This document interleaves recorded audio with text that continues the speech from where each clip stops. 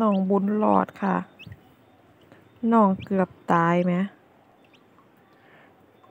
ก็ให้ตั้งชื่อบุญรอดก็คือออกยากยาค่ะ ออกจากไข่ยากแรงสองมือจังออกจากไข่อุตสาห์วอออกมาตั้งแต่เจาะเจาะหุ้นออกมาตั้งแต่กลางคืนแม่นบ่ผ่านกลางคืนผ่านไปอีกมือหนึ่งตื่นเช้ามากก็ยังบ่ออก อีกคืนหนึ่งก็บ่ออกบัดบัดเช้ามือที่สองจังค่อยค่อยแกะน้องแล้วยามมื้อแลงน้องจั่งออกค่ะ แล้วที่นี้ออกมาเอาน้องไว้ในตู้วันกว่าบัดเอาน้องมาไว้ไว้อ่าข้างนอก เอาผ้าตุ่มเอาองเฮ็ดทุกอย่างเฮ็ดเรียบร้อยเลยค่ะบัดอากาศมันหนาวเกินไปเนาะที่นี้น้องเกือบตายค่ะน้องตายได้แหละบ่ขยับแข็งแกร็งยังเลยตื่นนอนยามมื้อเช้าตื่นมาสวยๆเสียน้องออกนะค่ะน้องแข็งแกร็งแรง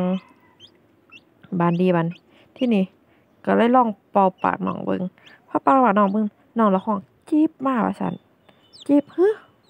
ก็เลยคิดว่าน้องหนาวแรงก็เลยเอาน้องไปไว้ในในอ่า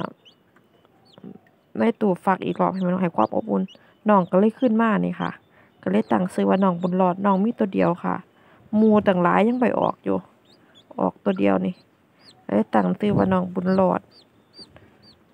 จากสิรอดอีรีบ่บุในช่วงอากาศก็หนาวหนาวถ้าบิ่งไปน้ำกันค่ะพ่อพี่น้องว่าจะเป็นจังเลยน้องบุญรอด ค่ะ ผมชื่อบุญรอดครับ หนูชื่อบุญรอดค่ะบ่าหัวน้องเป็นตัวปูตัวแม่เนาะค่ะ